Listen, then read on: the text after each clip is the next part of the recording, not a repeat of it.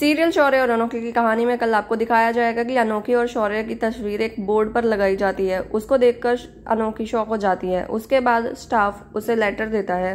फिर वो उसे पढ़ती है तो वो रस्टिकेशन लेटर होता है। फिर अनोखी कहती है कि ऐसा नहीं हो सकता, मैं ऐसा होने नहीं दूँगी।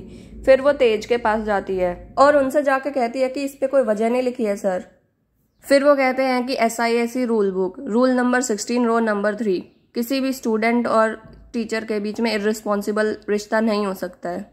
अब अनोखी का क्या फैसला होगा, उसे जानने के लिए देखते रहिए स्टार प्लस पर। सौर्य और अनोखी की कहानी। अगर आपको ये जानकारी अच्छी लगी हो तो मेरे चैनल को सब्सक्राइब और लाइक करना ना भूलें। धन्यवाद।